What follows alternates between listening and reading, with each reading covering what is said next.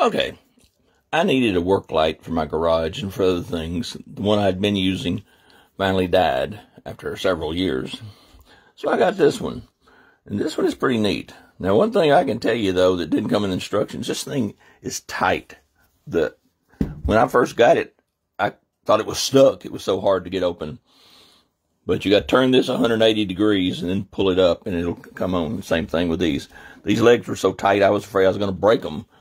But turns out they're just tight.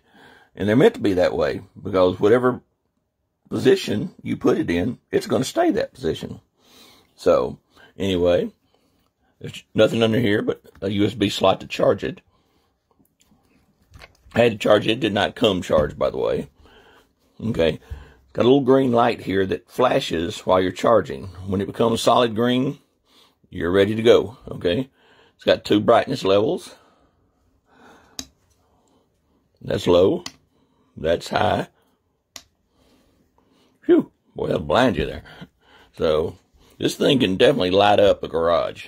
I can tell you that. So, five stars. It's sturdy. Pretty much.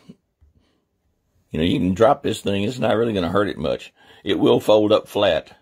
But since I got it the way I want it now, I'm going to leave it that way. So, anyway, five stars. Great product. Great price, great performance. Go get one.